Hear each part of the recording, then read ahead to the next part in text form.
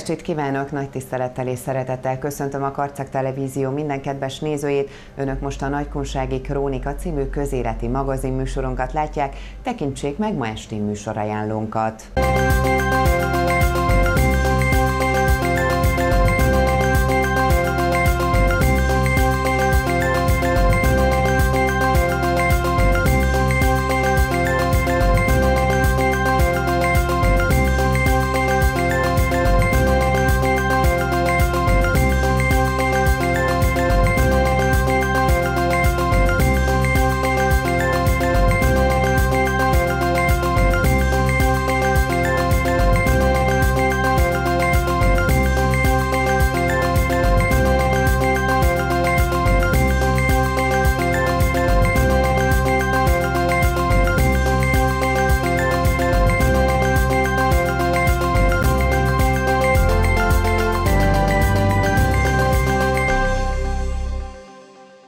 Kedves nézőink, Aktuális Kérdések című heti magazin műsoron következik. Mai vendégünk Kovács Szilvia alpolgármesterasszony, akivel a legszebb konyhakertek programról beszélgetünk.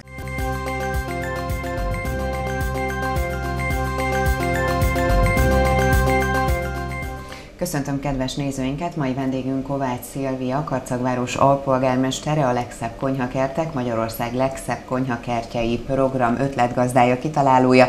Szeretettel köszöntöm stúdiónkban, örülök, hogy elfogadta meghívásunkat. Én is köszönöm szépen a meghívást, és én is üdvözlök minden kedves televíziónézőt. Azért hívtuk ma meg egy stúdió beszélgetésre, mert ugye hamarosan lejár a jelentkezési határidő azok számára, akik szeretnének ehhez a programhoz csatlakozni, mit kell tudnunk, meddig lehet pályázni, milyen feltételekkel, milyen formában. Így van, nem sokára jár a határidő, május 31-ig várjuk a karcagi kertnevezők jelentkezését, és lehet nevezni balkonnal, udvarral, kerttel, zárkeltel, de akár csoportok, óvodák, iskolák és lakóközösségek jelentkezését is várjuk szeretettel, hiszen nagyon fontos, hogy minél többen mutassák meg kertjeiket, és minél több embernek adjanak inspirációt arra, hogy műveljék az udvaraikat, ássák föl kertjeiket, és legyen benne konyhakert, zöldséges és gyümölcsös. Ugye nem mindenkinek van internete, az idősebbek ugye még jobban szeretnek kertészkedni, legalábbis ez a hagyomány, ez a szokás például itt Karcagon is, mint a fiatalok. Ugye az újságban is megjelentettük a jelentkezési lapokat, most mondjuk már el röviden, hogy hogyan lehet jelentkezni erre a programra az újságból kivágott jelentkezési lappal, de jelentkezési lapot lehet kérni a falugazdász irodában, lehet kérni az önkormányzatnál is, interneten keresztül is lehet jelentkezni, tulajdonképpen bármilyen formában, hiszen ha valaki nem a jelentkezési lapon, hanem csak egy puszta A4-es lapra fölírja az adatait és ráírja, hogy szeretne jelentkezni, minden formában fogadjuk a jelentkezéseket, hisz egy a lényeg, hogy mutassa meg valaki a kertjét, nem a formaságokra megyünk, hanem arra, hogy valaki, ha kertet művel, akkor legyen arra büszke, dicsekedjen el vele, és avasson be a kertművelés rejtelmeibe, fortéjaiba mindenkit. Ugye május 31-e a határidő a pályázatra, a csatlakozásra, itt legalábbis Karcagon. Mit kell tudnunk az idei év pályázatáról, programjáról?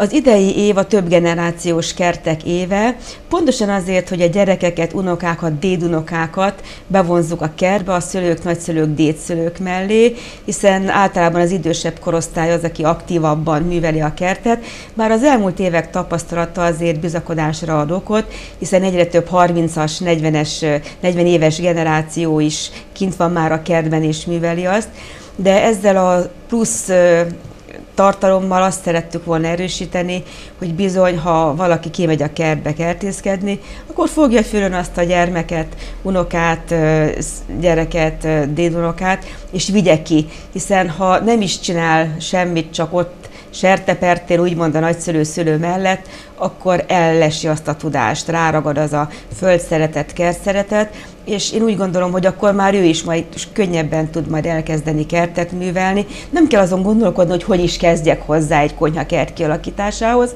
és azt a minimális alapvető tudást már gyerekkorban meg tudja szerezni.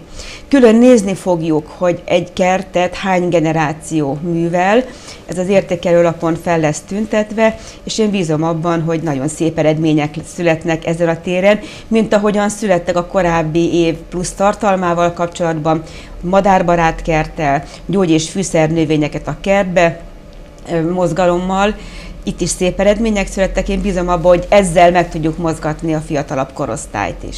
Melyik volt a sikeresebb, a fűszernövényes kertprogram, vagy esetleg a madárbarát kertprogram? Hogy értékeli az elmúlt éveket? Én úgy gondolom, hogy fej-fej mellett van a két vonulat. A madárbarát talán azért sikeresebb, mert már második éve tudjuk ezt nézni és mérni, és én úgy gondolom, hogy ebben az évben a gyógy és fűszernövény is ki fog teljesedni, és tényleg fejfej mellett fog zárni a két eredmény. Mindenki ebben gondolkodik. A madarak nyilván nagyon sokat segítenek az ökobió módszerek megvalósításában, és a gyógy és fűszernövények reneszánszát éljük, hiszen a gasztronómiában is egyre nagyobb teret hódít ez és én arra vagyok büszke, hogy bizony ez a régi tudás visszajön, és mindenki tudja, hogy melyik gyógynövényt, fűszernövényt pontosan mire, hogyan kell használni. Én bízom abban, hogy ez a tudás is át fog örökítődni a fiatal generáció számára. Fazeka Sándor miniszter úr kertészkedés évének hirdette ki az idei esztendőt. Erről mit lehet tudnunk? Így van, és legnagyobb megtiszteltetésre a Legszebb Konyhakertek Magyarország Legszebb Konyhakerté program ebben a fő támogatója és segítője és partnere ebben a programban.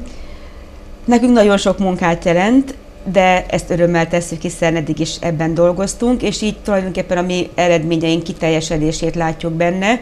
Az első nagy eredmény, hogy a mezőgazdasági lapcsoport három számában, a Kertbarát magazinban, a Kerti kalendáriumban és a Mezőgazdaság című heti labban rendszeresen minden lapszámban megjelenünk, és különféle tudósításokat fognak az olvasók olvashatni a, magáról a programról, a program résztvevőiről, eddigi díjazottjairól, eredményeiről, továbbfejlesztési lehetőségeiről, és minden kertészkedéssel kapcsolatos információról. De ugye ez nagyon megmozgatja az országot, mert gyakorlatilag amikor beszélünk, akkor mindig valahonnan rohan, vagy valahová rohan, ugye nagyon sok média foglalkozik ezzel a programmal.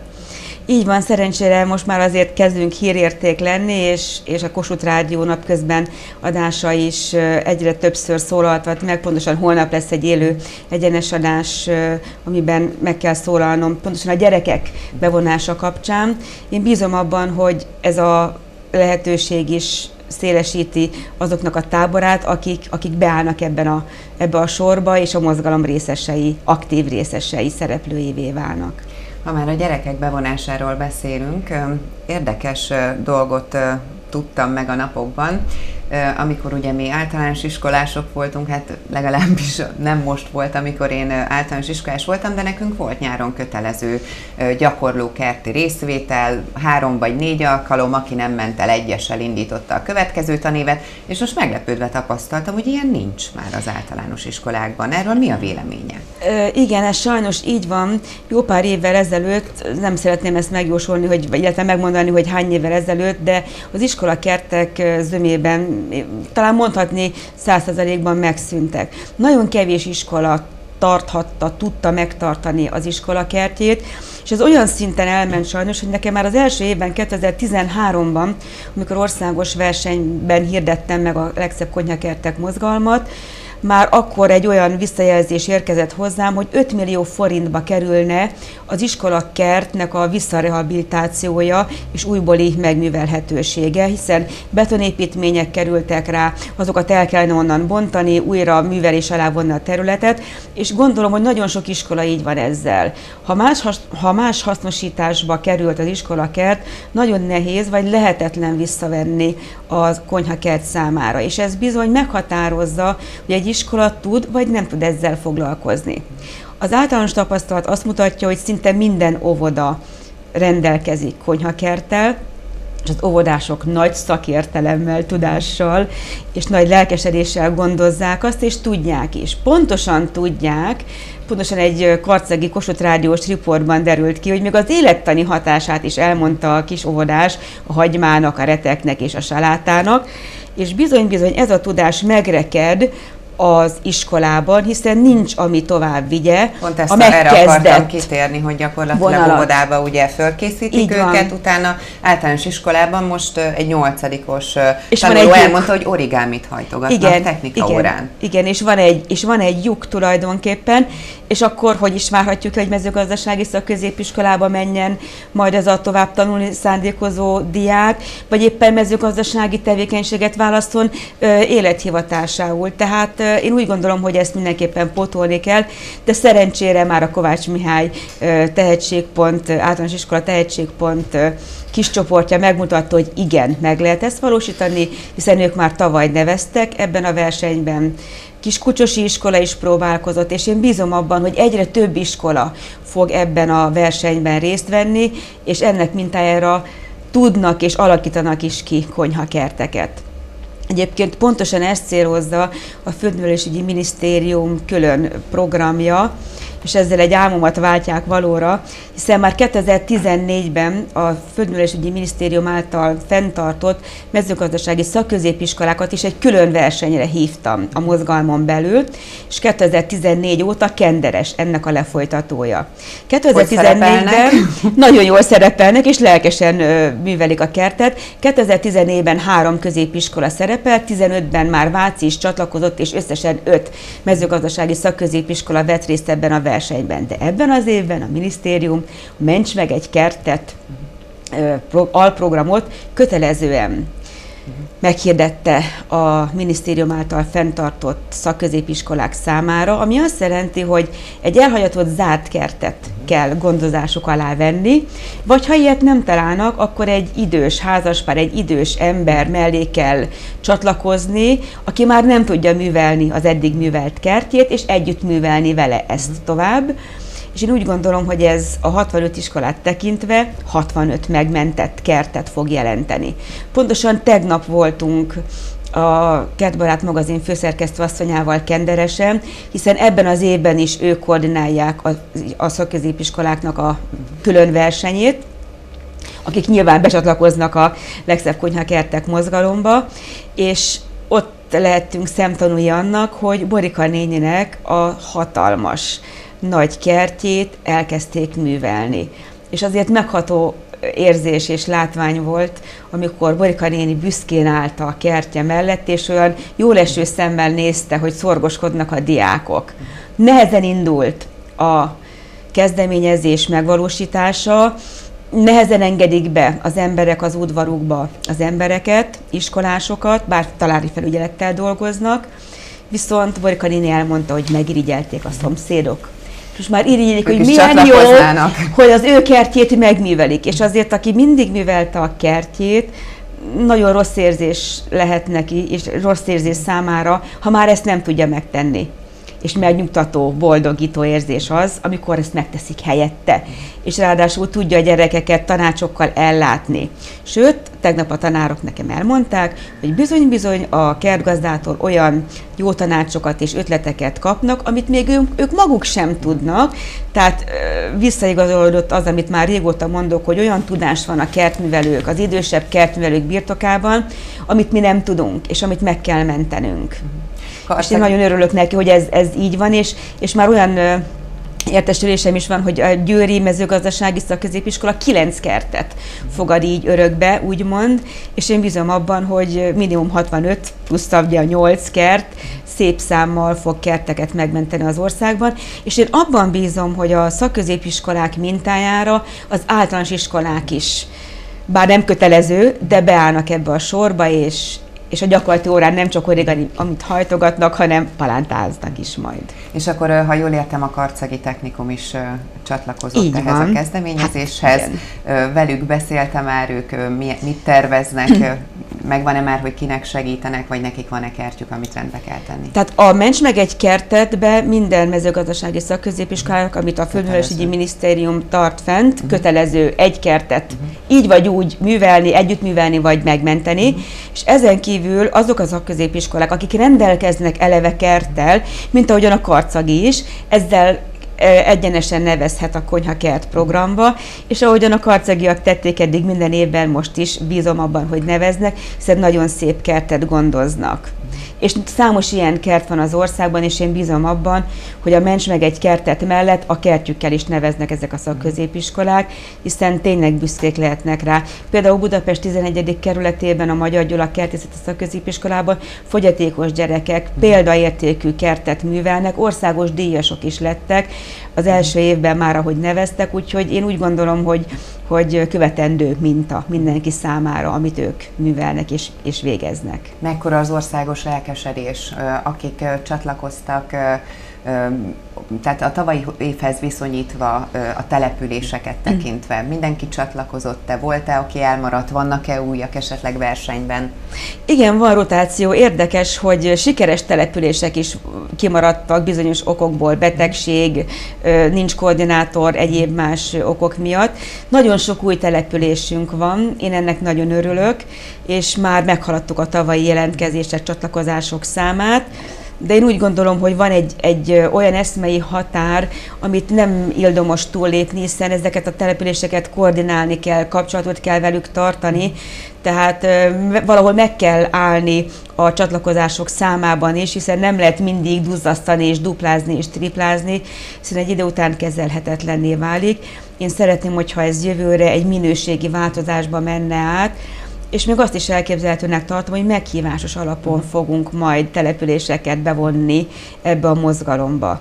Az idei év eddigi csatlakozásai azt mutatják, hogy nagyon sok kis település nagyon gyorsan csatlakozott, és ezeken a településeken már elkezdődtek a nevezések, és valahol már le is zárultak.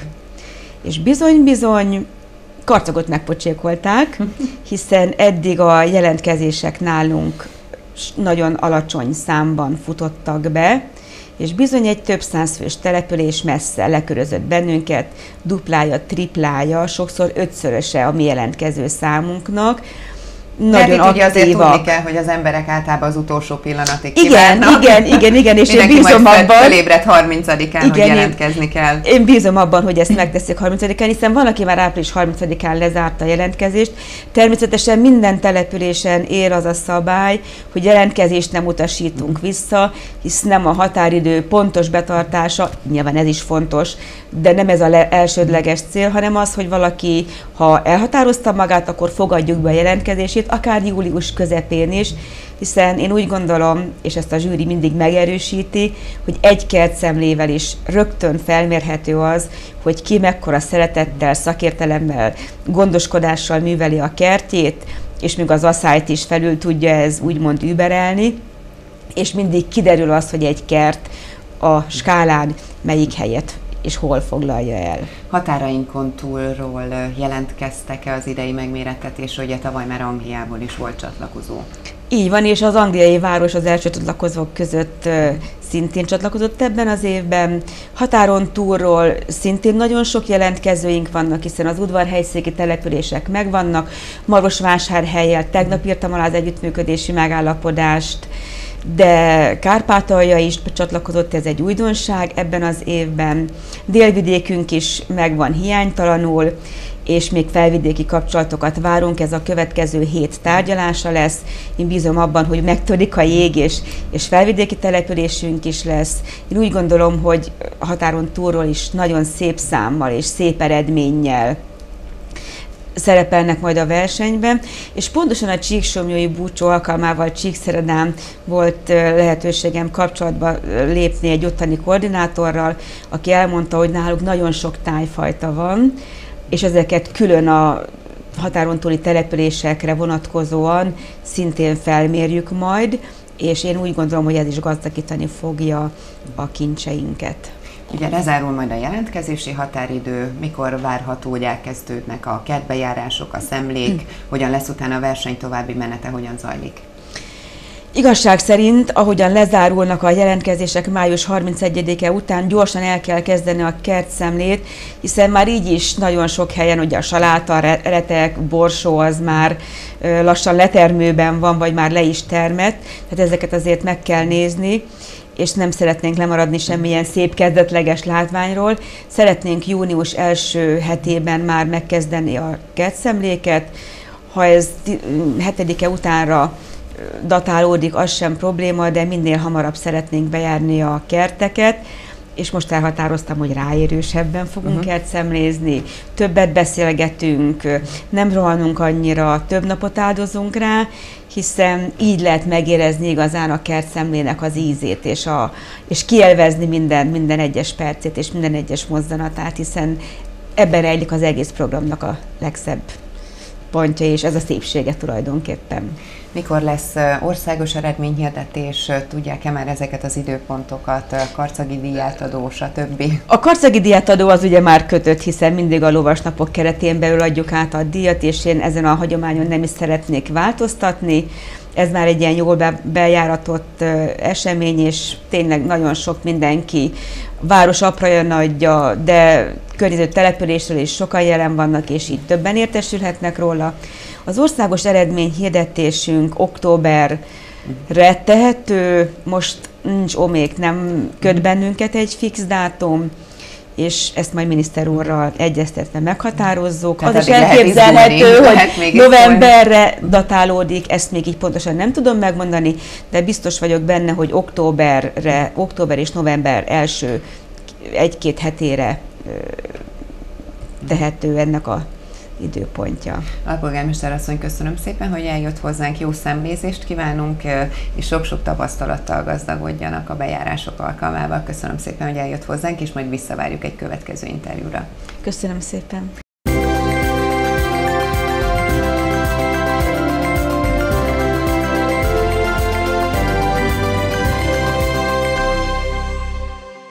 Kedves nézőink, most az elmúlt napok fontosabb városi eseményeit összefoglaló karcagi híreink következnek, tartsanak velünk!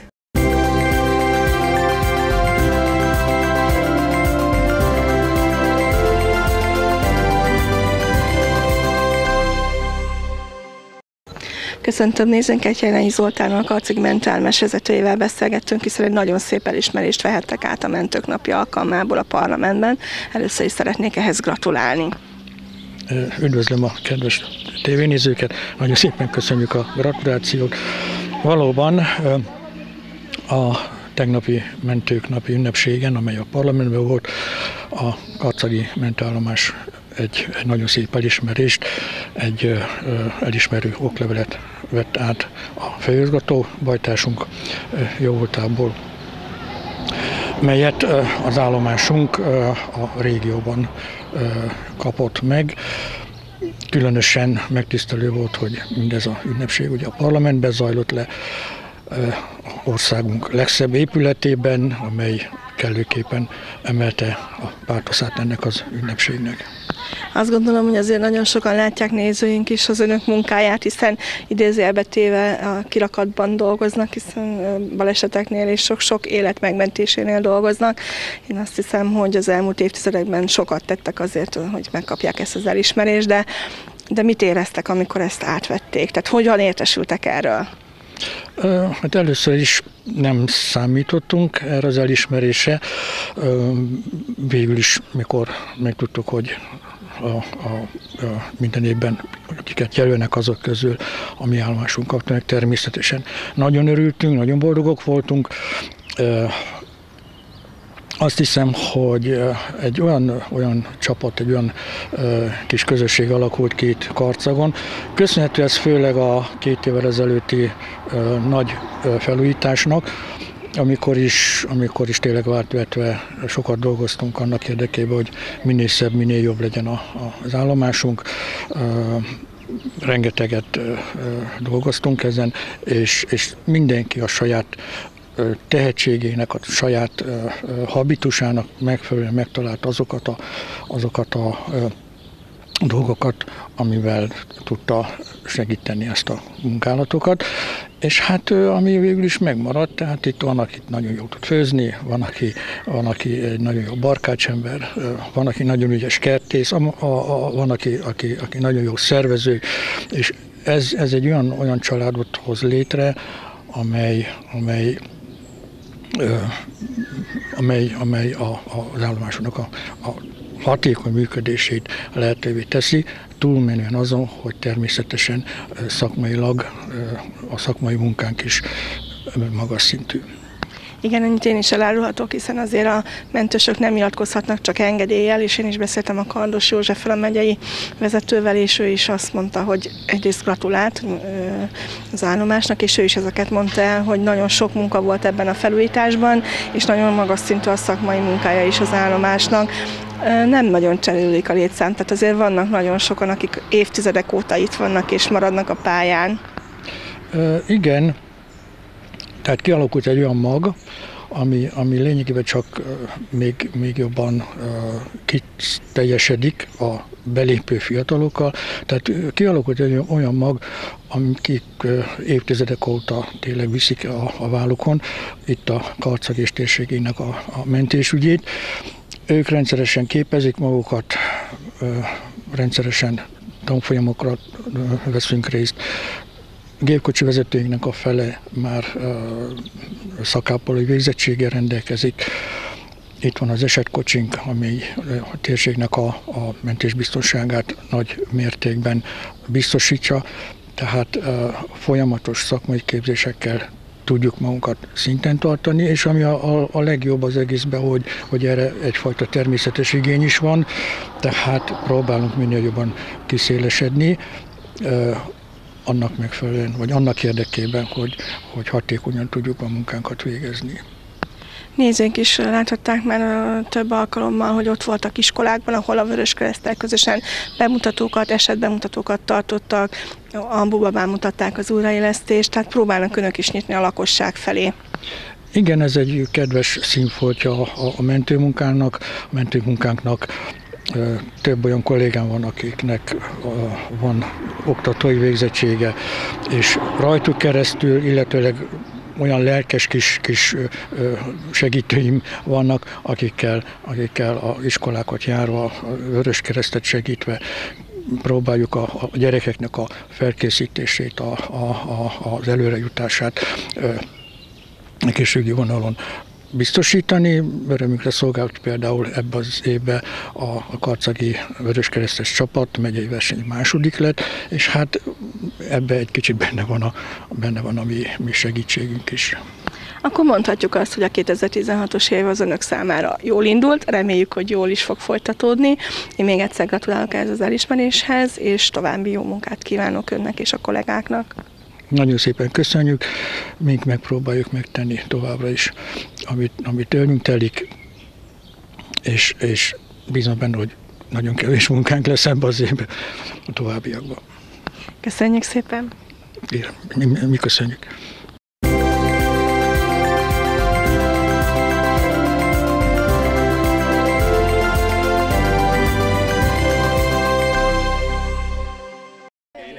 Köszöntöm Önöket, itt vagyunk a Szent Annai Középiskolában, Gyermán János tanár úrral beszélgettünk, hiszen a Rákóczi Szövetség újabb pályázatot írt ki, melyen ismét sikereket hozhattak haza. Ehhez szeretnék először is gratulálni. Köszönjük szépen a gratulációt! Mi volt ez a pályázat, és milyen sikerek születtek? A Rákóczi Szövetség 2016. februárjában ki egy pályázatot, melynek címe a felvidékről kitelepített Magyarság Emléknapja. Erre a pályázatra 8 tanulóval pályáztunk, többféle kategóriában. Annyit lehet tudni erről a pályázatról, hogy külön két kategóriában indult, mind a középiskolások, mind az egyetemisták részéről. Mi a középiskolás kategóriát pályáztuk meg, a nyolc díjból mi négyet váltottunk jelölésre, tehát óriási siker ez mind az iskolának, mind a tanároknak, mind nekünk is a diákoknak. Két országos első helyezettünk volt. Az országos első helyezést Kamuti Gábor tanítványunk szerezte meg. A felvidékről kitelepített Magyarság Kálváriája két falu történelme szemszögéből. Ez volt a pályázatának a címe. A második helyezést Valner Zsófia Fanni tizedikes tanuló szerezte meg. Egy nyomorgatott és egy elcsatolt nemzet című munkájával, illetve született két külön díjas diákunk. Az egyik külön díjas Kupai Dániel Ferenc lett, illetve a másik külön díjas, a tavalyi győztes Csanád István Márk. Ki mindenki segített a diákoknak, hiszen azért ez egy nagyon összetett feladat lehetett. Nem volt egyszerű feldolgozni ezt a korszakot most, amit az előbb elmondott. Igen, hál' Istennek volt segítségünk. Először is el szeretném mondani, hogy tavaly győztes Csanád István Márk volt, ő most külön díjas lett, de ennek is külön örül.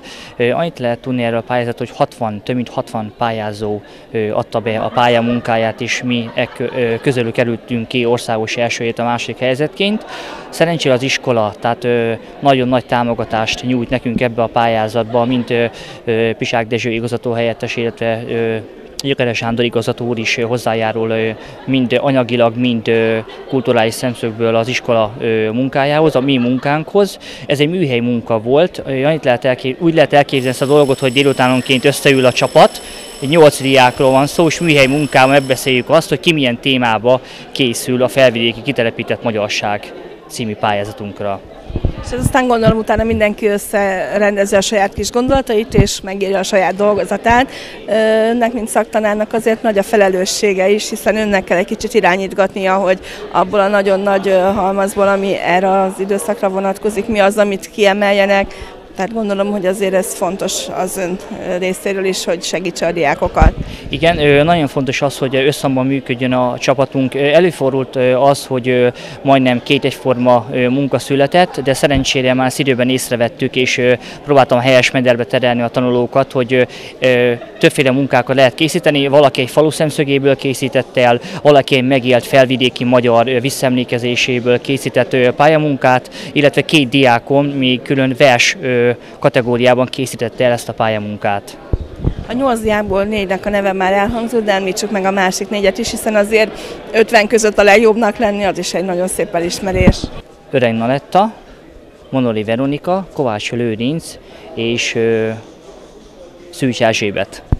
Ők még 9.-10-esek, tehát akkor nekik azért még van lehetőségük ezen a pályázaton részt venni. Igen, tehát ők még első mértében még úgymond kezdők voltak ebbe a pályázatban, és egy óriási dolog, hogy elismerő oklevélben részesültek a munkájukért, illetve az is egy óriási dolog, hogy ez az országház felsőházi termében ö, került ö, ö, sorra, úgyhogy itt jeles történelmi professzorokkal, ö, ö, zsűri elnökökkel találkozhatunk és beszélgethetünk személyesen. Akkor én azt kívánom, hogy jövőre is találkozzunk, hiszen azért évente több pályázat van, amelyen részt vesznek. Jövő tanévre is hasonlóan szép sikereket kívánok. Köszönjük szépen. Kamuti Gáborral beszélgetek, aki már tavaly is sikert ért el ezen a pályázaton. Mit kell tudni a mostani pályázatodról?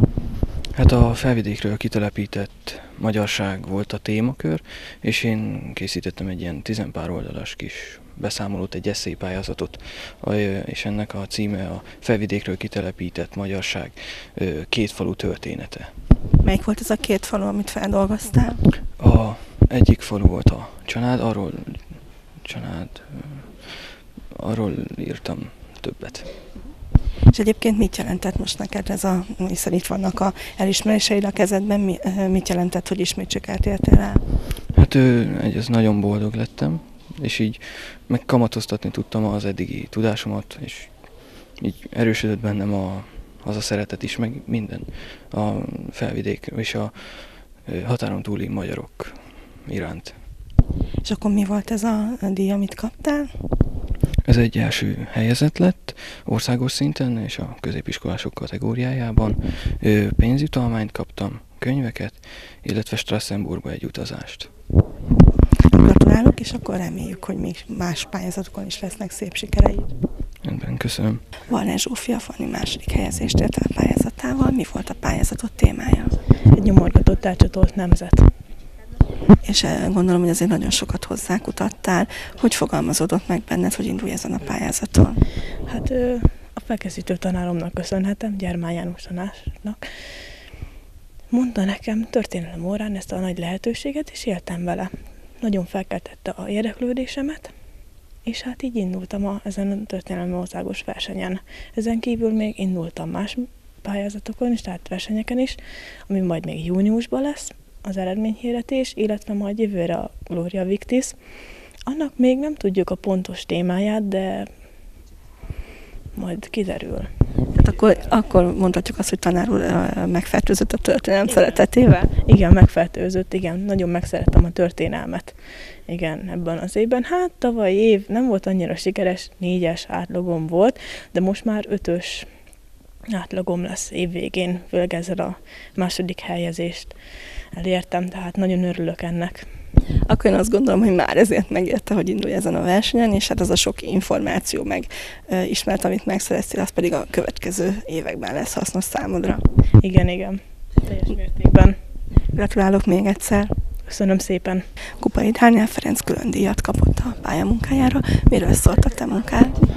A felvidékről kitelepített magyarság sorsáról szólt. Leírtam teljesen végig azt, hogy hogyan zajlott ez a kitelepítés, hogyan történt, és azt is, hogy hogyan kerültek vissza oda, akik megérdemelték. Egyébként előtte, még mielőtt tanár úr felhívta a figyelmeteket erre a pályázatra, hallottál erről otthon, olvasgattál előtte, tehát képben voltál, vagy, vagy ez számodra ez sok új információ volt? Hát annyira nem volt sok új információ, pár dolog volt, amit ö, könyvekből olvastam újat, de egyébként tudtam róla írni, mert hallottam róla. És mi az, amit kiemelnél? Tehát mi volt, ami esetleg ö, számodra is egy nagyon fontos információ volt, vagy, vagy nagyon olyan, ami megragadott?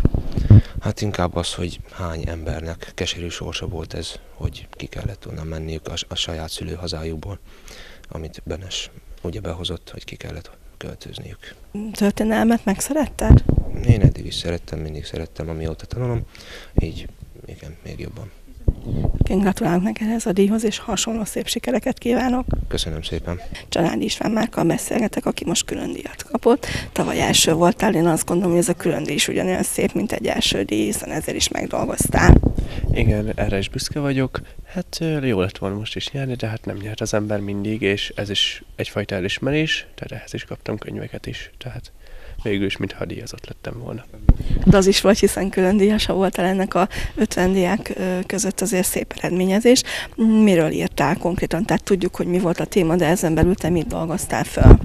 Igen, ezen felül egyrésztről az egész történetet leírtam, másrésztről egy bizonyos lány történetét írtam le, akit kitelepítettek és ki szó szerint készen munkára kihasználtak. Tehát erről szólt. Illetve raktam bele felvidékre származó népdalt, illetve verset is.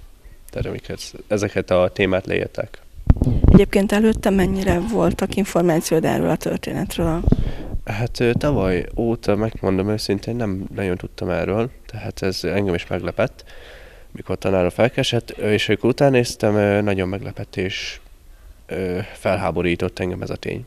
Tehát mint egy hazafinak vallom magamat, és ez engemet a honfitársaimmal szemben eléggé megrázott, hogy úgy mondjam akkor azt gondolom, hogy nagyon sok olyan információ birtokába jutottál, amit eddig nem tudtál, amit a későbbiekben esetleg újabb pályázatoknál is használni tudsz. Igen, rengeteg új dologhoz jutottam, és hát ugye az ember mindig tanul, élete végéig, ahogy szokták mondani, nagyon ö, tetszett a kirándulás is, és nagyon köszönöm a Rákóczi Szövetségnek is, hogy ezt biztosítja. Én azt gondolom, hogy a munkátokért kaptátok ezt jutalmul, és azért ti megdolgoztatok. Én azt kívánom, hogy akkor még sok hasonló pályázaton nyerjél, és ugyanolyan a külön díj is ugyanolyan értékű, mint egy első, második, harmadik helyezés, úgyhogy én még egyszer gratulálok. Köszönöm.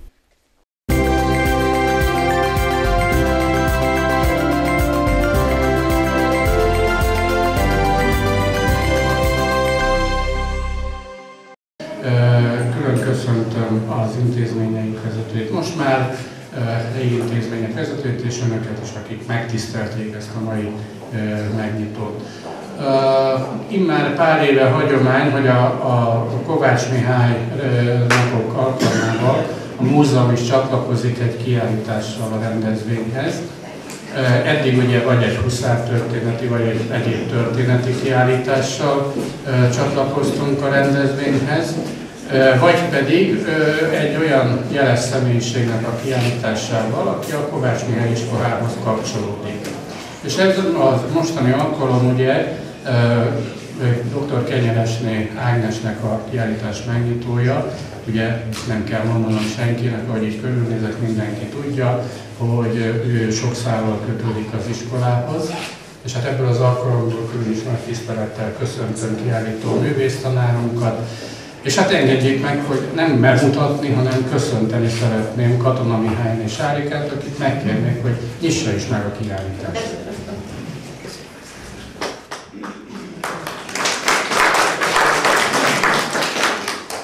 Aranyosi Ervin, Déli Bál. S maragzöld mezőn szétterül aranyszínű. Pipacsok vörös bársonya áldozó pillanatnak. E költői képekkel köszöntöm az Ég madarai és a mező virágai című kiállítás minden kedves érdeklődőjét. Megkülönböztetett szeretettel köszöntöm a képek alkotóját, dr. Kenyeresné Z. Ágnes művésztanárt. 1947-ben Püspökladányban született. Ott végezte általános és középiskolai tanulmányait. A rajzolás és festés alapjait középiskolás korában a Debrecenből kijáró festőművészektől sajátította el.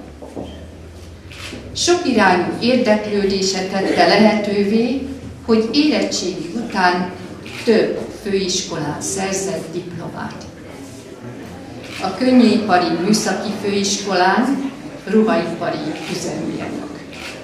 Besenyei György tanárképző főiskolán rajz-matematika szak. Képzőművészeti főiskola felső szintű képzésén vett részt. Mindhárom diploma segítette a valóság megismerésének vágyát, és annak rajzi, festői megfogalmazását. Fiatal korától látta és vallotta, hogy ha valamit el akar érni, ahhoz nem csak hozzáértés, tehetség kell csupán, hanem erős akarat, kitartás. E tulajdonságát ismerhettem meg, mint barát, rajszakos kollega, amikor együtt taníthattunk a Kálvin 9 iskolában. Sok-sok szép emlékkép villan fel előttem. A tantestületi jó hangulat, közös munkák, táborok, baráti együttlétek. Szép. És az biztos, hogy bármelyik iskolába tanított, mindenütt adott tudásából, emberségéből tanítványainak. Ő is kapott tiszteletet, szeretetet. Tanítványai közül többen követték alkotó művészeti pályáját. Festői szakmai tudását alkotótáborokban művésztelepekben, telepeken tökéletesíti. Húsz éve. Jár művésztelepekre. Többek között a Decsi, Tőserdei, Kétegyházi, Bélmegyeri a legjelentősebbek számára. Sok városban volt önálló kiállítása. Berekfürdőn, Berettyújfalun, Békés Csabán, Gyulán, Budapesten, Karcag franciaországi testvérvárosában, Longónban és a Karcagi Kovács Mihály iskolán. Iskolák névadóit, nyugdíjba ment igazgatóit portrékon örökítette meg. Így a Szent Annai Sámuel gimnáziumban, Györfi István iskolába, Kovács iskolába és az Erkel Ferenc zeneiskolába. Sikeres festői munkásságát dicséri, hogy 50 online galéria is feltétele alkotásai közül. Legsikeresebb a kanadai és a hannoveri online pályázata, ahol 2015-ben, szeptemberben egy pipacsos képe a hónap festménye lett. Másik nagy boldogság, az őszi pályázaton első helyezést nyert. Ez sikeres pályát a jelenlegi kiállítás képeivel is bizonyítja. Biztosan tudom, hogy a látogató első gondolata de szép. Igen, minnyájunkat a színek elvarázsolnak, és a belőlük megfogalmazott formák. Stílusa egyedi.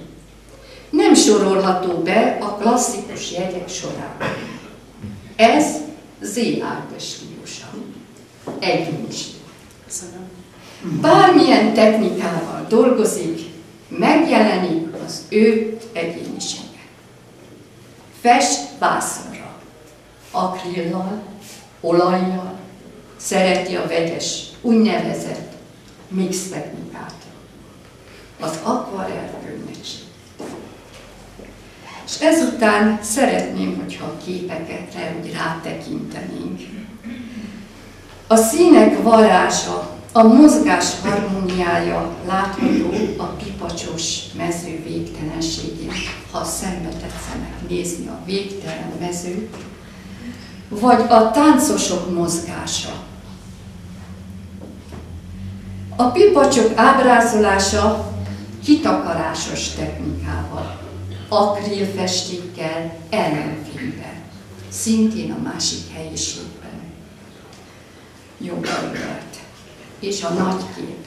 Érdemes rátekinteni, amelyik feszültséget, lendületet sugároz. Érdekes és egyéni az önarckép, újságpapír alapra. A pipacsok, akril és aranylemez kapcsolata. Itt tetszenek látni folcemben. És akkor számomra a legnyűgözőbb a festőtáblákra festett képek akkor ezeket ha egy kicsit megnéznék jobban, csodálatos, egyszerű fatáblára, akril és akvarel festékkel. Szóval itt látszik ezen, ezeken különösen a tehetsége. Itt is a mix média jellemző. Szereti és biztos festői tudással ábrázolja a mezővirágait. Csendélet formába, pipacsok és napraforgók. Jobb oldalt az ablaknál látható két csendélet nagyon szép pipacsokkal, és a másik oldalt pedig a napraforgó, tehát a mezőn vagyunk, és a napraforgó gyömre. Kedves képsorozat, a mezővirágai. Búzavirágtól a pogár. Itt középen az asztalon tekinthetők meg. Nagyon szereti a természetet. Azok színeit, szereplőit, legyen az vadvirág, vagy az égből leszálló madarak. A sirályok mozgását a tengerparton figyelte meg, és azok pillanatait képekbe formálta. Szintén magáért beszél. Nagy sikerű képei az akvarel technikával készült darvak. A darvak tánca előttünk, a darvak gyülekezője az erdőszín. És mondhatom, hogy figyelmükbe szeretném ajánlani a kis madarakat ábrázoló képsor, amelyik egy érdekes megoldás, varott megoldással hozta egy nagy képbe a főleg a mondom most. A kiállítás kedves színfoltja a kis csibék amelyeket olajjal valósított meg, és mindegyik egy-egy mozzanat, 20 darab van belőle, ott az asztalon, majd annak lesz valami sorsa. Kedves Ági, köszönjük ezt szép kiállítást, további munkáithoz sok sikert és jó egészséget! E gondolatok jegyében a kiállítást megnyitom. Kérem az érdeklődő jelenlévőket, vigyék el szép kiállítás hírét, hogy minél többen látogassák meg ezt a kiállítást. Tudomásom szerint egy hónapig lesz. Köszönöm.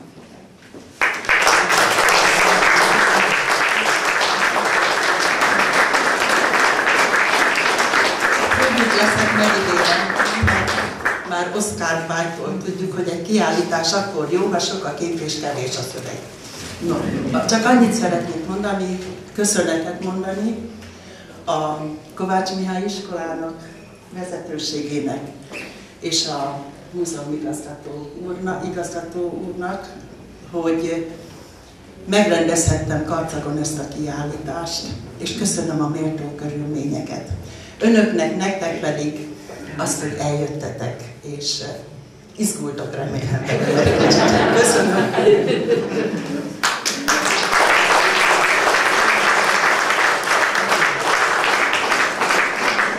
Én is nagyon köszönöm ezt a kiállítást, és nagy öröm számomra, hogy ez az első kiállítás a Kit Múzeumban, mert a Karcagon már többször volt kiállítás, hogy de múzeumban még nem. Úgyhogy ebből az alkalommal engedje meg, hogy már szeretettel köszönjük a kiállítást. Ez olyan szép, hogy akár újra fékhez is mehet.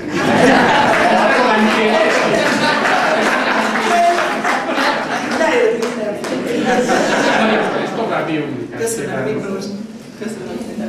És ez a kedves Sárika, nagyon köszönöm ezt a kedves, kedves személyes.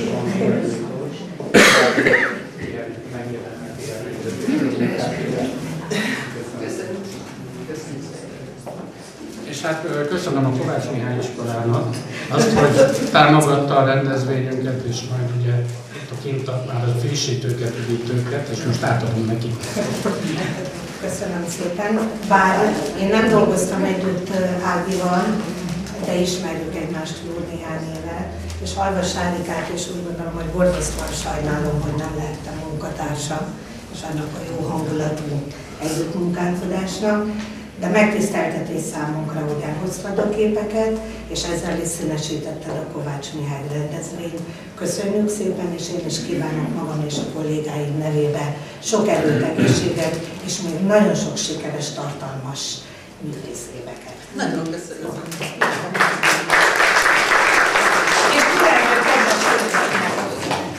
Munkálkodáshoz. Az van neked. Kedves Sárika, Sárikával már együtt dolgozhattam, nem okozott meglepetés a szívhez szóló megnyitója, és érződött a személyes hangvétel, hogy ti ismertétek egymást. Köszönöm szépen, és köszönjük a támogatás segítséget. Mondhatok még valamit? A kiállítás címét sajnos nem én találtam, de van egy nagyon jó barátnőm, Duma Katalin, aki a Füzesgyarmati Szitás képtár vezetője. Ő találta ki ezt a címet, külön köszönöm neki.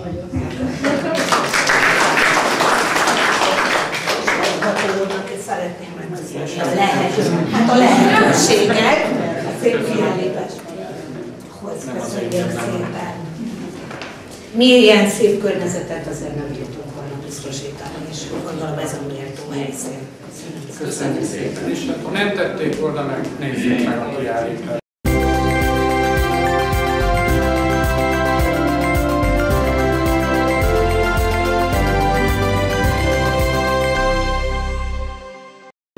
Köszöntöm nézőinket, a Kovács Mihály tagintézményben vagyunk, ahol Happy Hét van, hogy mi is ez pontosan arról Tóth Szűcs Judittal beszélgettünk. Mit takar ez a Happy elnevezés?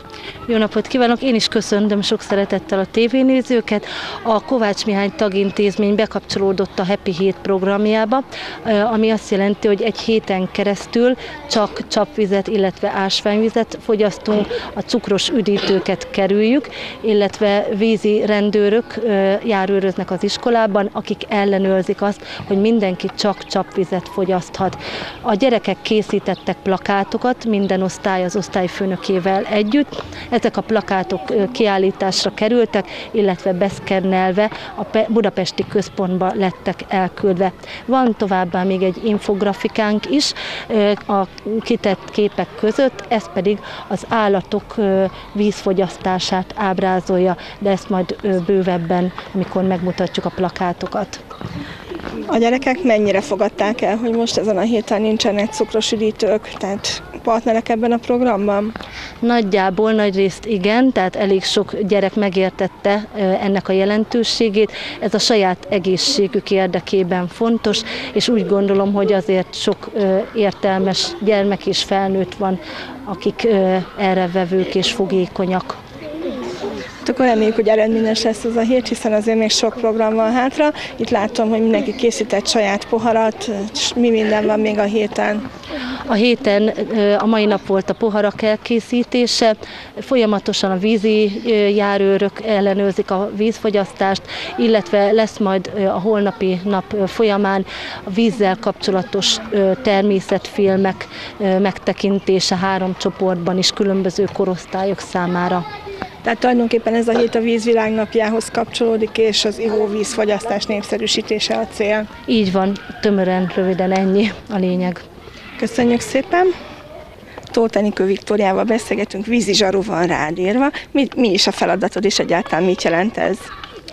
Azt jelenti, hogy a folyosókon szoktunk körbe menni, végig menni, és azt kell megnéznünk, hogy mindenki vizet fogyaszt.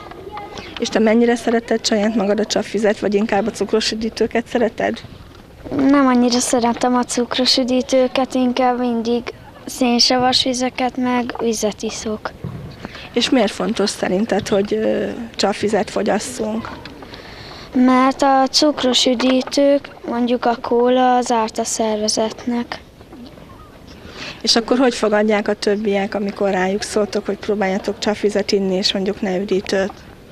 Nem fogadnak szót. De hát akkor gondolom kitartóan visszamentek, és próbáljátok őket lebeszélni. Igen. Szabó Veronikával beszélgettünk arról, hogy mi, milyen infografikát készítettetek az állatokkal kapcsolatosan. Hát olyat, ö, hogy mennyit isznak az állatok, ö, sokféle állatot lerajzoltunk, és megadták nekünk, hogy mennyit isznak, és a nevüket is, és így lerajzoltuk őket. És akkor te is rácsodálkoztál arra, hogy mennyire fontos, hogy az állatok is igyanak? Hát igen, mert az állatok az életünkben nagyon nagy, nagyon nagy jelentőséget szereznek, mert ők adják nekünk a tejet, tojást, az, meg az inni, meg az élelmet. És akkor, ahogy ezeket az állatokat rajzoltátok, utána is nézhetek ezeknek a dolgoknak? Igen, a tanítónénivel, meg a családommal. És neked melyik a kedvenc állatod? Nem tudom, mindegyik. És akkor mi az, amire oda kell figyelni, amikor az állatokat itatni kell? Tehát van olyan állat, amit meg kell itatni, mert nem akar inni, vagy azért, hogyha ki van téve, mit tanultál erről, hogy mindenki talál vizet? Hát némelyiknek kell segíteni, és nem mindegyiknek, nem mindegyik állatnak kell olyan sok vizet adni, meg ki kell cserélni a vízüket, mert koszos, koszosak lesznek, és baktériumok, baktériumokat bevihetnek a szervezetükbe. Tehát akkor sok hasznos információval is gazdagodtatok, hát akkor reméljük, hogy sokan megnézik ezeket a plakátokat. Igen, reméljük, és remélem is, reméljük, hogy sokat fognak tanulni belőlük.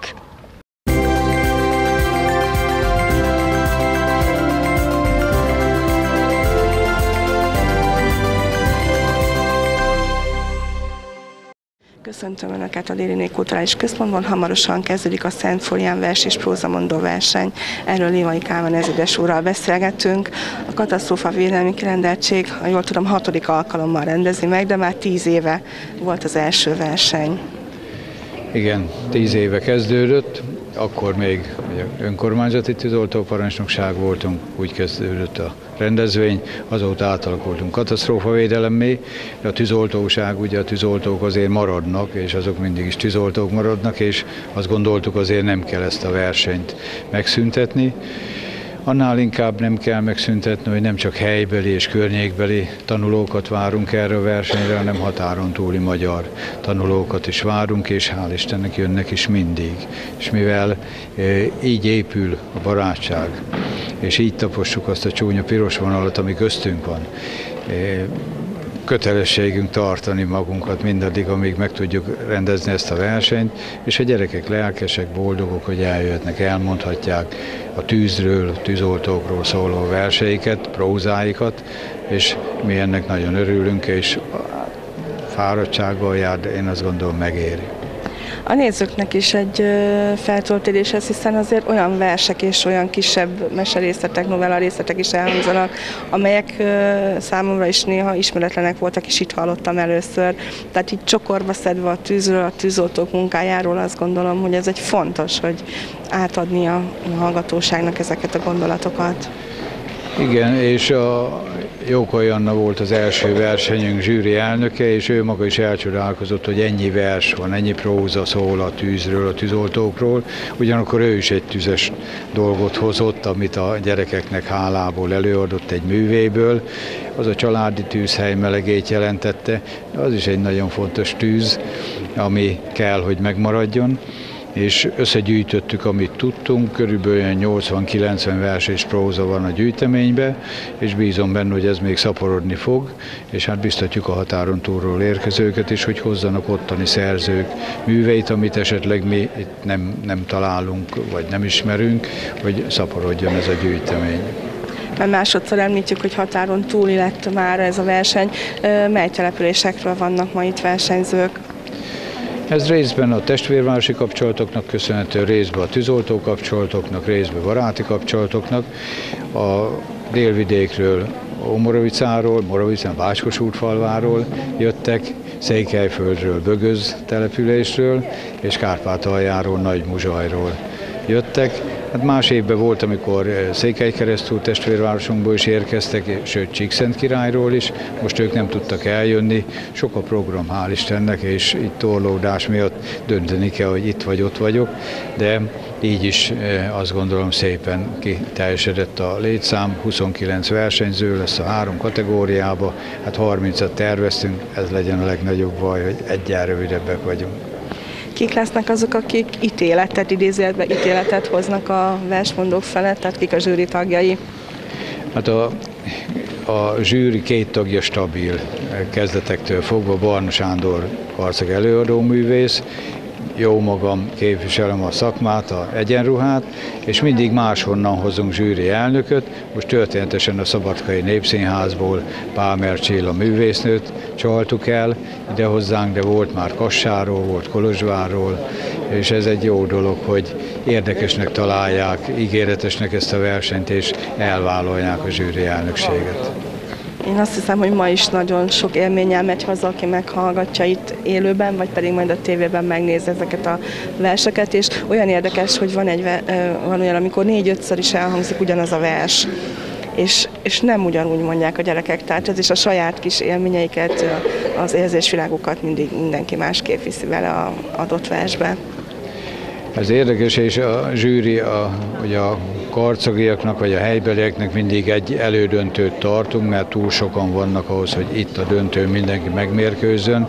Azért kezelhető hosszúságú programot kívánunk nyújtani a közönségnek, és mindig megbeszéljük az előzsűri tagjaival, hogy hát úgy le kellene valahogy, hogy hát ne jusson háromszor tovább a Didergő király, vagy más hosszú próza, mert a versek általában annyira nem hosszúak, de mert meg egy kicsit úgy furcsa, és egymás után háromszor dideregni, de azzal együtt tényleg érdekes, hogy mindenki másképp adja elő. Kicsit másképp, vagy nagyon másképp, de ugye a zsűri nem hagyja magát befolyásolni, mindig azt mondják, hogy amikor mégis tovább jut három hosszú próza, hogy hát jó volt az előadás. Hát most azért nem zárják ki, mert ó, már van kettő, ne legyen harmadik, és hát ebben nekik van igazuk ez meg már a mi kötelességünk, a nézőké is, meg a, a döntőzsűrié, hogy elviseljük ezt a csapást, hogy, hogy sok gyerek mer hosszú prózát választani. Mert ez is nagyon fontos, hogy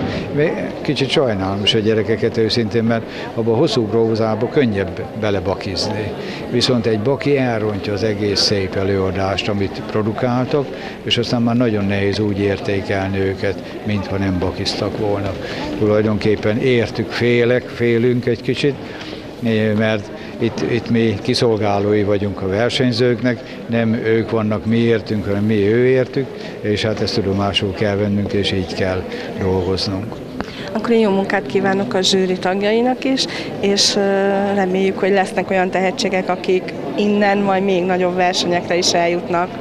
Hát bízunk mi is hozzá, köszönjük szépen!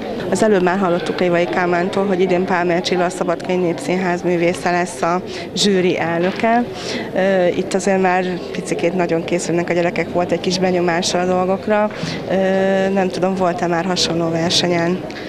Voltam versenyen, épp a múlt héten, múlt hétvégén Vajdaságban Feketicsen volt egy műfordítások versenye, és amelyeket persze előadtak, úgyhogy jó felkészülés volt erre a hétvégére, ott is kb. ez a korosztály vetélkedett. Ott is nagyon erős volt a színvonal, úgyhogy itt is tudom, hogy volt már egy elődöntő, szóval biztos, hogy itt is kemény lesz. Nagyon, nagyon kíváncsi vagyok, és nagyon örülök, hogy itt lehetek, még soha nem voltam Karcagon, úgyhogy örülök, hogy itt lehetek, és látom, hogy nagyon nagy hagyománya van ennek az egésznek, ennek az egész rendezvénysorozatnak, vagy versenynek, és, és ez, ez még nagyobb öröm, hogy így rám gondoltak, és hogy itt lehetek én, mint zsűri. Itt érkeznek közben a versenyzők, tehát azért látjuk, hogy vannak kisebbek, nagyobbak, tehát biztos, hogy a zsűrinek is nehéz a dolga, amikor kisebbeket, nagyobbakat is kell, meg gondolom, hogy szolidaritás is van azért, hogy aki izgul, azt próbálják megnyugtatni. Igen, igen, meg mondjuk múlt héten is fordult elő olyan, hogy mondjuk megakadt valaki, de ez egyáltalán nem baj, tehát még a, a legprofibbakkal is előfordul az, hogy megakadnak például egy-egy szövegben, de persze ők, ők is nagyon izgulnak, de már ilyen kicsi korban is látszik az, hogy ki, a, ki kiben van nagyobb érdeklődés vagy affinitás az előadó művészetre, és, és kiben csak egy ilyen hobbi szinten él, vagy, vagy csak úgy próbálkozik, úgyhogy nagyon érdekes dolgok itt is már ki tudnak derülni. Hát én azt gondolom, izgalmas lesz a zsűri munkája. Én jó zsűrizést kívánok önnek. Köszönjük, köszönöm szépen.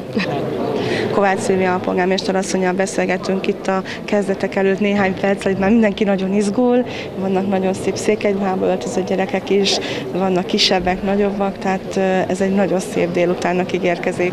Én is úgy gondolom, hiszen ha gyerekek szerepelnek, és ráadásul verset, prózát szépen magyarul mondanak, én úgy gondolom, hogy az a délután csak nagyon szép lehet. És hát különleges a verseny is, hiszen csak a tűző tűzoltók munkájáról fognak szólni ezek az előadások. Egy picit azt gondolom ezzel is közelebb visszük ezt a kicsit megközelíthetetlen szakmát mindenkihez. Így van, a, akinek megközelíthetetlen, ahhoz közel visszük, viszont a gyerekek én úgy tudom, és én tapasztalom is az unokáim révén, hogy nagyon közel állnak a tűzoltósághoz, hiszen a kedvenceik, és bizony nagyon jó, hogy, hogy nem csak a tűzzel az oltás szempontjából foglalkozunk, hanem megnézzük, hogy az az irodalom, vers, a próza, a mese hogyan foglalkozik ezzel a kérdéskörrel, és bizony úgy gondolom, hogy nagyon sokat tanulhatnak a gyerekek ebből a aspektusból is erről a területről. Tegnap volt szerencsém a Földnapja programon részt venni Budapesten a Nemzeti Múzeum kertjében, és ott is volt egy erdőtűz elleni védekezésképpen egy komoly programsorozatot a gyerekeknek, és ott is nagyon aktívan részt vettek, érdekli a gyerekeket ez a téma, és én úgy gondolom, hogy nagyon sokat taníthatjuk ebben a korban őket, és egy felelős gondolkodást kialakíthattunk úgy, hogy közben szórakoznak is, hiszen most verset és prózát fogunk tőlük hallani. Az előbb Lévai Kálmántól hallottuk, hogy közel 100, tehát 80-90 már az olyan művek száma, amiből választhatnak. Nem is gondolnánk, hogy ennyi művész, alkotó foglalkozott már ezzel a témakörrel. Így van, én magam sem gondoltam, hogy ennek ekkora az irodalma, és ilyen nagy a merítési forrása. Én kíváncsian várom ezeket a produkciókat, és biztos vagyok benne, hogy nagyon jó szórakozásban és nagyon szép élményekben lesz részünk a mai délután folyamán.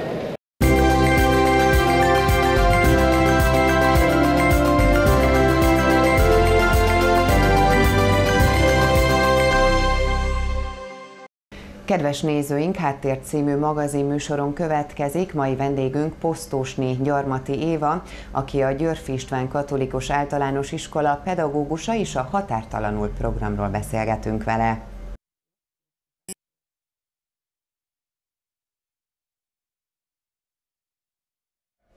Köszöntöm kedves nézőinket! Mai vendégünk Posztósné Gyarmati Éva, a György István Katolikus Általános Iskola pedagógusa, az egyik osztály osztályfőnöke. Szeretettel köszöntöm stúdiónkban, örülök, hogy elfogadta meghívásunkat. Én is köszöntök mindenkit, és köszönöm szépen a meghívást. Hanyadik osztálynak az osztályfőnöke? A hetedik B osztály osztályfőnöke vagyok, és határtalanul programba kirándulni voltunk, ebből az apropóból szeretnék néhány dologról beszámolni. Részt vettek ugye a Határtalanul programban. Mióta létezik ez a program az önök iskolájának az életében? Mióta vesznek ezen részt? Hát pontos dátumot nem tudok, de évek óta próbálkozunk. Hát volt sikertelen, meg most egyre több a sikeres pályázat, szerencsére. Mi dönti azt el, hogy sikeres vagy sikertelen egy pályázat? Milyen szempontok vannak, amik alapján pályázni lehet? Hú, hát ennek elég komoly pályázati oldalai vannak, amit ki kell tölteni. Azért kérdezem ezt, hiszen ön foglalkozik ezzel igen, a pályázattal. Igen, igen. Tehát meg kell tervezni egy utazási irodával a programot, és emellett ilyen vállalások vannak, hogy, hogy mi az, amit kötelező, például előkészítő óra van kettő, aztán lezáró óra van kettő, az kötelező, de ezek kívül úgynevezett fakultatív programok vannak.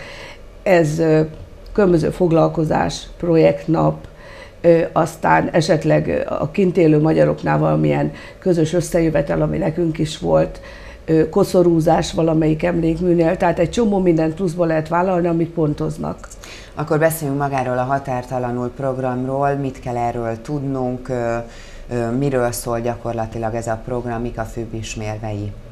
A határtalanul programot az Emberi Erőforrások Minisztériuma megbízásából az emberi erőforrás támogatás kezelő hirdeti meg, azzal a célral indult ez, hogy a határon túli magyarságot megismerjük, hol élnek, megismerjük a vidéket, és minél több emberrel kapcsolatba kerüljünk. Én úgy gondolom, hogy ez a célja. Mikor kezdődött az önök iskolájában az idei program, illetve előkészítés ezen a programon való részvétele? Tehát mióta dolgoznak ezen az idei programon? Hát igazából mindig hatodik osztályban, tehát hetes mehetne, de mindig előző éve, vagy élei hirdeti meg ez most változott, mi tavaly nyáron pályáztunk, és ősszel derült ki, hogy most májusban mehetünk. De most a következő két osztály, most az évveli pályázott, és ők ősszel mennek. Most ennyi módosítás történt, tehát tavaly kezdtük el, adtuk be a pályázatot, kaptuk meg a választ. A közvetlen előkészítés, tehát előkészítő órákat előtte egy olyan 15 napon belül kell megtartani, ahol szó esik arról, hogy kell viselkedni, szó esik arról, hogy mire számítsanak odakint, miket nézünk meg, ezeket próbáltuk képekkel is illusztrálni, hogy hát minél nagyobb legyen a várakozás. Gyerekek ilyenkor érdeklődőek? Igen, érdeklődőek, és, és azért vannak is ismereteik, tehát hozzá szóltak. Az idei programnak mi volt az úti célja? Hát mi nagyon messze mentünk, nagy vállalkozás volt, a testvériskolát Székely keresztúron a Petőfi Sándor általános iskolát céloztuk meg, és hát közben ugye sok-sok látnivalóval találkoztunk, és a keresztúriaknál volt több program, ami hát be volt tervezve, és aztán onnan indultunk vissza a harmadik napon, mert ez három nap volt. Akkor beszéljünk most magáról a programról, mikor, mármint az utazás részéről, mettől meddig tartott ez a kirándulás, hogyha lehet ezt így nevezni? Május 4-e, 5-e, 6-a, ez egy szerda csütörtök péntek volt, és hát korán indultunk, mert messzire mentünk. Egyszer másodszor meg ugye egy óra különbség van, tehát még azt is ugye hozzá kellett számolni, hogy ott már később van egy órával. Hát sietősek voltak a, a programok, de mindent szerettek volna nekünk megmutatni. Szeretném elmondani, hogy mi vagyunk az elsők, akik a, az új utazási iroda segítségével ö, mentünk el, és nagyon szépen megszervezték a programot, tehát én itt Karcagon szerveztem, szerveztettem, vagy kértem segítséget. Hányan mentek erre a kirándulásra? 40 gyerek és 4 felnőtt ment.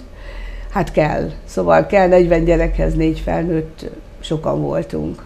Mikor indultak hogy, hogy telt az út, tehát most egy picit vegyük részletesen át a napokat, a kirándulás Hát uh, hat órakor indultunk, hogy minél előbb elérjük a határt, hogy ott is számolni kell esetleg időbeli gondokra, de nem nagyon volt gond, és igazából az ottani időszámítás szerint 8 órakor már Nagyváradon voltunk, megnéztük Nagyvárad nevezetességeit, igazán szép város.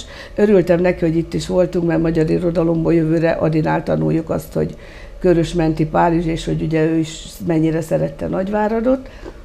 és azt követően mentünk tovább. Elég nagy távolságok voltak Kolozsvárra, ahol ugye Mátyás emlékekkel találkoztunk a szoborral, Mátyás születési, tehát a ház, ahol született, aztán a szobor mögött levő gyönyörű szép templomot megnéztünk.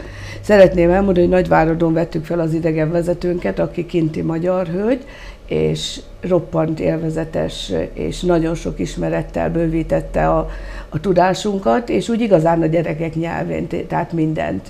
Tempója az volt rendesen, szóval ott nem mondta, menni kell, menni kell, mert az idő az szorít bennünket. És hol voltak elszállásolva? Igen, vagy első ugye nap... Me- megérkeztek a, a szállásukra? Első nap még, tehát Gyalú nevezett egy kisebb helység, itt egy vízduzdasztó van. Ez, ja igen, elfelejtettem, hogy Királyhágon megálltunk, hát az gyönyörű, tehát ott, ott lehetett egy kicsit pihenni a buszozás közben, lehetett ö, ö, venni jégkrémet, mert ez nagyon fontos volt, és hát fényképezkedni, mert gyönyörű helyek voltak, és tulajdonképpen Kolozsvár után van ez a Gyalú nevezetű kis hely. Gyönyörű, szép, egy vízduszasztónak a szélében van ez a szálloda, meg motel, úgyhogy nagyon remek ellátásban volt részünk. Két-három ágyas szobák voltak külön fürdővel, ott kaptunk meleg vacsorát, és innen indultunk, indultunk másnap reggel tovább. Hát ez is elég hamar volt, mert 7 óra, fél 8 körül indultunk Szovátára ami ugye egy ismert fürdőhely, a legismertebb Erdélyben, nagyon érdekes, mert nagyon sok tava van, és ezek a melegvízű tavak. Ott a Medvetúr emlékszem leginkább a nevére, és hát gyönyörű szállodák, szétnéztünk, megcsodáltuk, és innen mentünk tovább Korondra, ahol lehetőségünk volt fazekas műhelybe bemenni, ketté osztották a csoportot, és egy-egy fazekas műhelyben voltunk. Megnéztük, hogy hogyan is készül a korondi kerámia, itt lehetett költeni, mert ugye nagyon fontos a gyereknek, hogy a kis ajándékot magának is, meg a, a barátnak vagy szülőnek is megvegye és így nem mentünk ki ugye a, a, a vásárra, a kirakodásra, mert ott mindig tartunk tőle, hogy nagyon az út szélén van, meg egy kicsit olcsóbb is volt. És akkor korondról mentünk tovább, igazán elég sokat kellett menni, de Székelykeresztúrra, így is késésben voltunk ahhoz képest, ahogy vártak bennünket, de jeleztük, hogy késni fogunk, ilyen nagy távolságnál nem egyszerű ezt bemérni, és már vártak ott bennünket az ottani hetedikesek, ugye tudták, hogy hetedikesek vagyunk, és sor került a fiúk közt egy rövidebb ö, fotballmérkőzésre, aztán pedig táncház Ki volt a jobb? Melyik csapat hát volt a keresztúriak. Ezt már hallottam, hogy eddig mindig megnyerték, úgyhogy én javaslom, aki megint megcéloz a keresztúrt, más sportágat válaszol. Hát ugye ott egy kialakult, végül, végül is városi ifjúsági csapat van, edzésbe és egyebek, itt meg olyan, hát ilyen, akik szeretnek focizni, egy-kettő focista volt közte, Hát kikaptunk rendesen, aztán pihentetőnek egy kis vendéglátás volt, és fél hétre jött egy néptáncos fiatalember, aki elindította a táncházat. Réta is ott volt, úgyhogy remek táncás sikerült, alig fértek két, kerek, két körbe, a gyerekek táncoltak, nagyon élvezetes volt. Ja, elfelejtettem, hogy odaérkezésünkkor az igazgatónő ö, fényképekkel egy, egy kicsit bemutatta az iskolát, és utána mi is néhány képpel, néhány mondatba ezzel kezdődött. Karcagiak készültek-e valamivel? Erre a, a programra, tehát ugye említetted, hogy Rita is orosz némi Ritáról van szó, ő is ott volt esetleg a, a karcagi gyerekek, ugye a Györfiben néptáncoktatás van hát a tanrendben, igen, bemutatkozott pont, pont ezért nem volt tehát műsor, nem volt kimondottan csak táncház, de látszott, én mondtam is, hogy nem vallottunk szégyen, mert nagyon magas szintű kint is a táncoktatás, de olyan ügyesen, tehát együtt táncoltak, és tényleg én úgy láttam, meg mondták azóta is a gyerekek, hogy sok barátság szövődött, tehát Facebookon itt-ott tartják a kapcsolatot, és aztán, mikor ennek vége lett, akkor elváltunk egymástól, mert mindenképp ki akartunk menni Petőfi költefájához, amit megkoszorúztunk, és hát itt elénekeltük a magyar himnuszt, mert a táncház végén elé megtanultuk út közben, meg az előkészítő órán a székely himnuszt. A táncház végén azt énekeltük el, és valahogy a magyar kimaradt, de pótoltuk, mert a, a Petőfi emlékeknél ott elénekeltük és akkor itt volt a szállásunk, itt vacsoráztunk, elég későn került rá a sor, de remélem, hogy akkor már a többség jót aludt, azért úgy mindenki aludt egy kicsit, nem mondom, hogy sokat, de, de tudtuk folytatni harmadik nap az utunkat. Második napra terveztük a sóbányát, a parajdi sóbányát, de az idő, tehát már eleve az utazási mondta, hogy valószínű, hogy harmadik napra kerül. Hát ezt tetszett legjobban a gyerekeknek, ezt ahogy sejtettük, hiszen hát ez egy óriási, hatalmas helység, ugye minden csupa fényes kő, és, és én már voltam, de nekem is mindig élmény az, hogy itt mi mindent létrehoztak, tehát ahogy sétál az ember, itt játszótér van, amit még nem láttam eddig, egy hatalmas kalandpark. Aztán például egy kis templom, ahol éppen ortodox misét tartottak, de tartanak minden, tehát másfajtát, és, és akkor itt volt egy kis szabad program, szét lehetett nézni. Hát nagy bánatukra a kalandparkban nem javasoltuk, mert elég sokba kerül, és ahhoz, hogy nekünk kevés volt az időnk. És akkor hát innen indultunk tovább, Innen már Marosvásárhelyre, ami egy szép város, és a legemlékezetesebb számomra, mint magyar tanár számára, az a könyvtár, ahol tényleg régi könyveket, például a Vizsói Bibliát is meg tudtuk nézni. Ott is volt egy hölgy, aki tényleg nagyon gyerekek nyelvén elmondott mindent erről. És aztán ezután már Körösfőre mentünk, ott egy négy tornyos kis templom van, azt meglátogattuk, és innen indultunk haza. Mikor értek haza? Mikor értünk haza? Hát az az igazság, hogy nyertünk volna. Jól egy... elfáradtak? Nagyon, elfá... nagyon elfáradtuk. Gyerekek nem, én abban biztam hazafele majd csendesebbek lesznek szunyolnak, volt, aki szunyolt, de volt ott olyan hangzavar, meg éneklés, de hát jól érezték magukat, úgyhogy úgy látszik, hogy őket annyira, pedig azért voltak nyüglődések, mert Erdélyben ugye a, a sok helyen, például a fürdőhelyen is hiába a rendes úton mentünk, ezek ilyen emelkedő, meg lejtő, tehát azért Még, kellett. Mi nem vagyunk Igen, igen, meg Parajdon megszámolták, hogy 251 nehány lépcső volt, pedig busszal visznek le bennünket a mélybe, és utána kell lépcsőn felmenni, Úgyhogy el is szakadt a társaság egy pillanatra, mert a gyorsa az ugye már régen felért, aztán mi, úgyhogy ki volt adva, hogy számolják meg, és ilyen 252-3 ennyi volt a lépcső. Tehát elég fárasztó napok voltak, de hát úgy látszik, hogy őket nem olyan egyszerű lefárasztani. Hát a határnál kicsit türelmetlenek voltunk, főleg a gyerekek, mert most elég sokat kellett várni, nagyon-nagyon sokan voltak. Akkor hallottuk, hogy a a húsvét más vallásoknál ez a hétvége volt, és uh-huh. nyilván, hogy emiatt is adódott, de teljesen időbe értünk haza, mert ö, ö, 9 és 10 között jelöltük meg a hazaérkezést, és fél tízkor értünk haza. Úgyhogy hál' Istennek minden rendbe ment.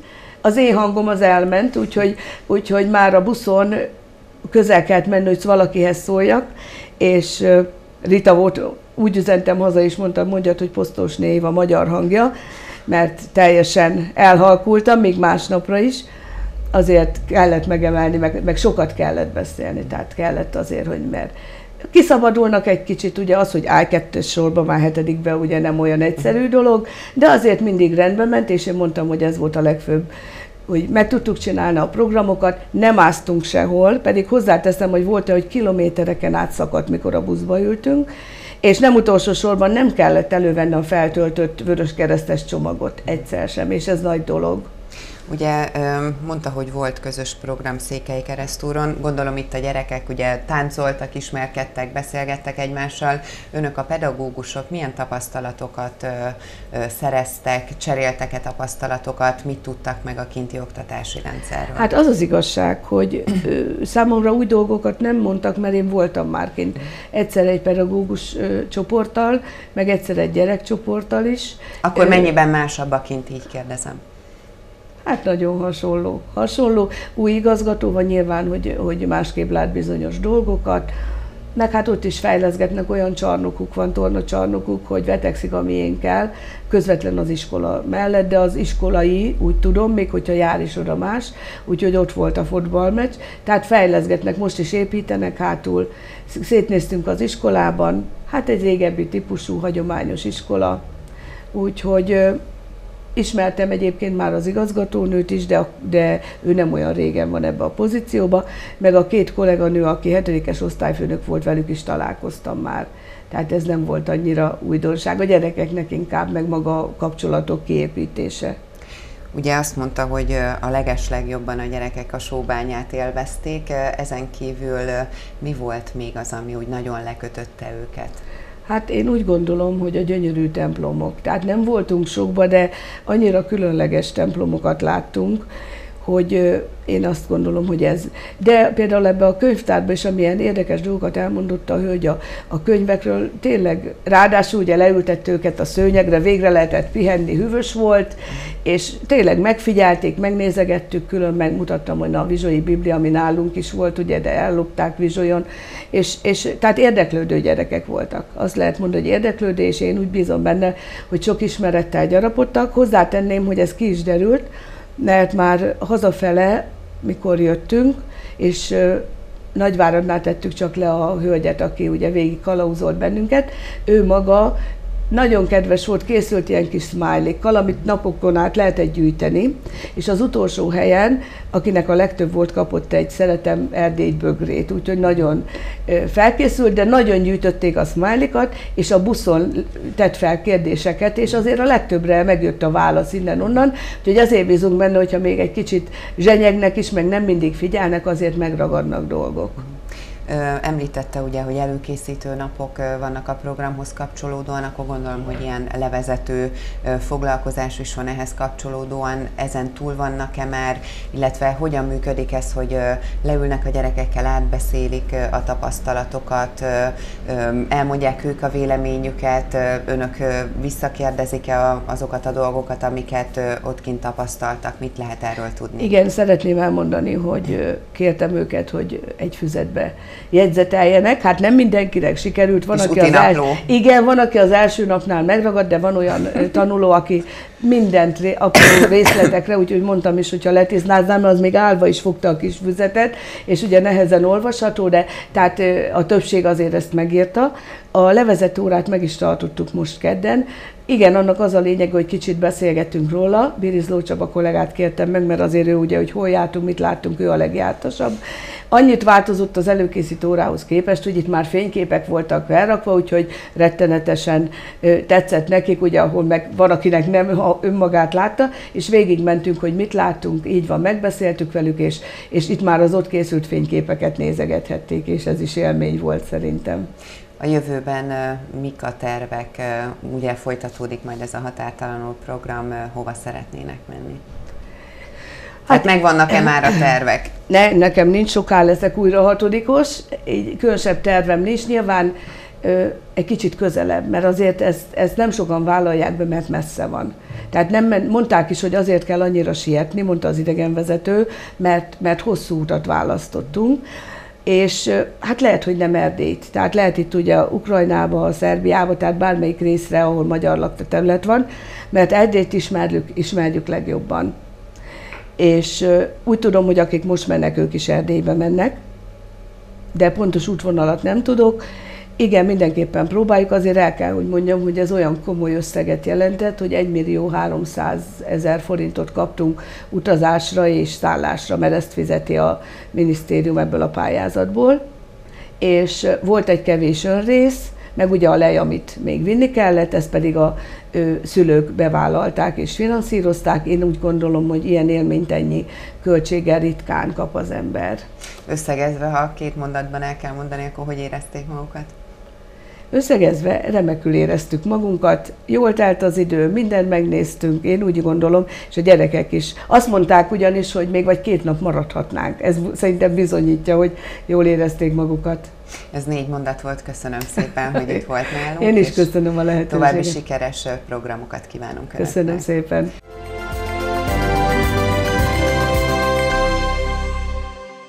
Kedves nézőink, már megköszönöm megtisztelő figyelmüket, írjanak nekünk, vagy hívjanak bennünket, bátran maradjanak velünk, mert egy rövid reklám után folytatódik a Karcag Televízió adása. A jövő héten visszavárjuk Önöket a képernyők elé, addig is a viszontlátásra mindenkinek.